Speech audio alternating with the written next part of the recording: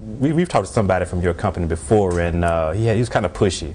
Yeah, I, I know how you feel. In fact, the first person that approached us with WFG was a little bit that way as well. So believe me, you know what I found out though, as I really looked into the company a little bit more deeply, I found that these were really good people and they make a they make a major difference for the families that they see.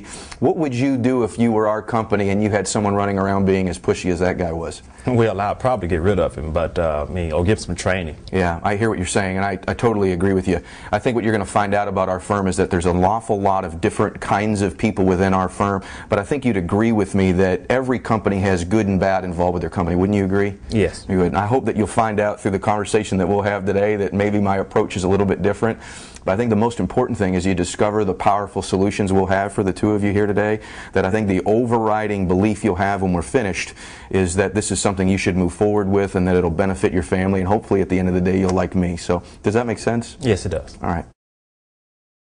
I want you to notice what just happened there. When we got the objection, it would have been very easy for me to say, oh my gosh, and then to begin to defend that objection. I think it was important that it was a confirmation of what took place, that I gave a statement of fact, and then I asked a follow-up question. And then I let him answer me as to what he would have done in that particular situation, and then move forward with what I wanted to tell him, and then finish with a question to get confirmation and permission to move forward. It's important that you acknowledge the objection because if you don't, it'll be his overriding thought throughout the rest of the presentation. No matter what I'm saying, he's going back to that guy. Even though it's an illogical position to think that one person or what they've heard before makes a big difference. But you'll find if you'll just let them say it, if you'll confirm it and acknowledge it, begin to ask a question that makes some sense, and then what you notice was I was assumptive good closers, people that are good at persuading people, are assumptive. So I assumptively moved forward, but asked permission to do so. I assumed a yes was coming, and he agreed with me. And you'll find, believe it or not, most of the time that that will be the case.